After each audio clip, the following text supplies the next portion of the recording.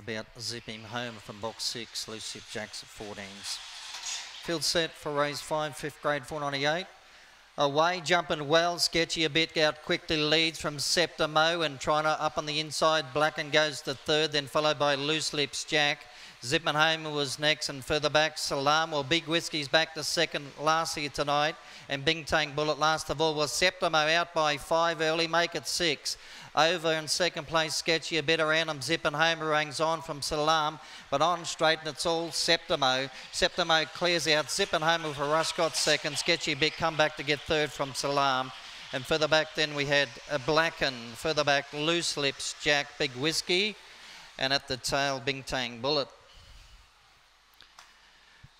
Septimo for Michael Fusco, the winner number one.